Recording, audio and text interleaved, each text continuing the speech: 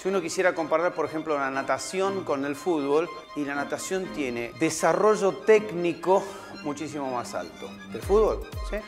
Y si me limito a los deportes de conjunto, y el básquetbol tiene un desarrollo técnico infinitamente superior al fútbol. ¿Por qué el fútbol de alguna manera ha dejado de lado herramientas que en otros deportes son de primera consideración? Por la existencia de talentos deportivos. El talento deportivo siempre relativiza la importancia de las demás cuestiones. Los periodistas deportivos ensalzan a los equipos en función de tal o cual jugador que ellos consideran bueno, cuando en realidad un equipo es bueno porque el equipo es bueno, no porque hay tal o cual jugador.